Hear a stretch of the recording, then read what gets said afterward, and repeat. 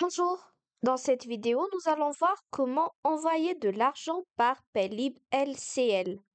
Pour envoyer de l'argent par Paylib LCL, rendez-vous dans la rubrique Virement LCL en ouvrant votre application LCL Mes comptes.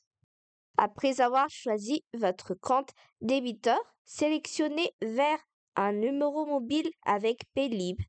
Donc là, vous devrez trouver d'abord alors l'option qui vous permet d'envoyer de l'argent à un contact ou à un numéro téléphone. Sélectionnez le contact à qui vous souhaitez envoyer de l'argent. Assurez-vous que le destinataire utilise également Paylib ou dispose d'un compte compatible.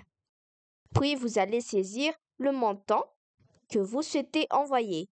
Suivez les instructions pour confirmer l'envoi vous pourriez avoir besoin de confirmer votre identité par biais d'un code PIN ou d'une méthode de sécurité similaire.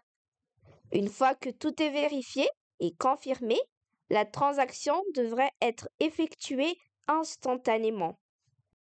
Vérifiez les frais éventuels associés à l'envoi d'argent via Paylib, ainsi que les limites de transaction. Ici, le montant maximum est 500 euros. Le délai de mise à disposition des fonds, 10 secondes maximum. Tarif, c'est gratuit.